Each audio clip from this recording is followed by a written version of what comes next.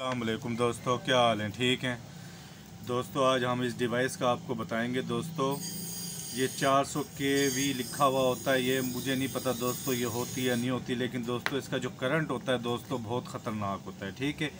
मैं आज इसको आपको मुकम्मल तरीक, तरीका बताऊँगा ये कैसे काम करती है दोस्तों। इसके अंदर एक दोस्तों यहाँ पे एक छोटा सा चोपर ट्रांसफार्मर होता है। जब आप इसको चार वोल्ट सेल से देते हैं लिथियम सेल से ठीक है? वो करंट को बूस्ट करता है यानी स्टेप अप का काम करता है। यहाँ से जो है ना हमारा 400 के के वी जो है ना करंट निकलता है ठीक है दोस्तों?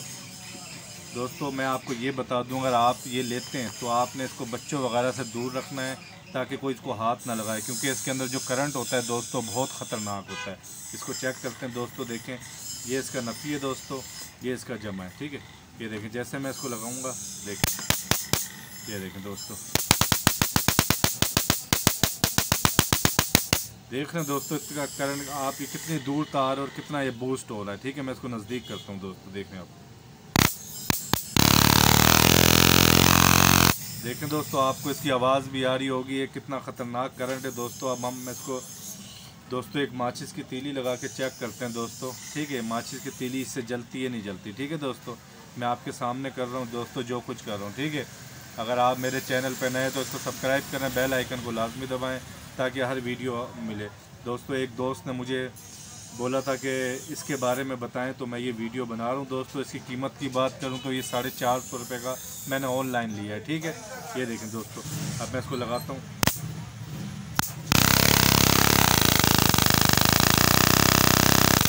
देखें दोस्तों, माचिस की तीली हमारी नहीं जली, ठीक है दोस्तों?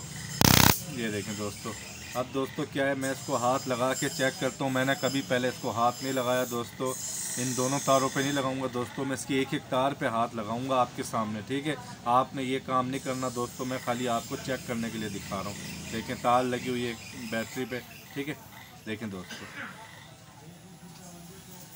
देखें दोस्तों, अगर आपको नज़र आ रहा हो तो ये हाथ को भी स्पार्किंग हो रहा है।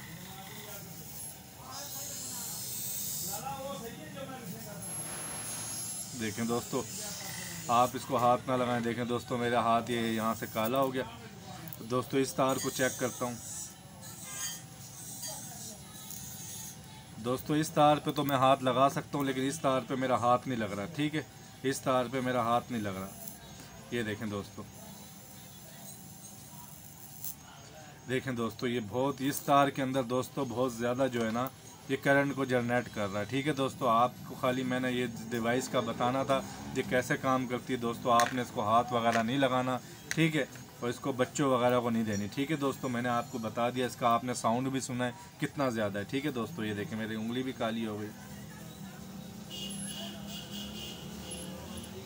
और दोस्तों, दूसरी बात आपने याद करनी अगर आप ये डिवाइस लेते हैं ठीक है, ये बूस्टर लेते हैं। दोस्तों, आपने मल्टीमीटर पे इसको कभी चेक नहीं करना। दोस्तों, मैंने गलती की थी, इसको 600 वोल्ट एसी की रेंज पे लगा के जब मैंने इसको चेक किया, दोस्तों, ये मेरा मल्टीमीटर ख़राब हो गया। ठीक है, ये आपने ख्याल करना है, मेरा तो नुकसान हो गया, लेकिन आपने इस चीज़ का ख्याल करना है। दोस्तों, अब हम इसके ऊपर एक एलईडी बल्ब, ये है, ठीक है, इसको लगा के चेक करते हैं कि ये, इसके ऊपर कितनी रोशनी हमारे को मिलती है। ठीक है, दोस्तों, मैं सब कुछ आपके सामने कर रहा हूँ ताकि आपको मुकम्मल इस काम का पता लग जाए। ठीक है, ये देखें। ये लगाया दोस्तों मैंने सेल को।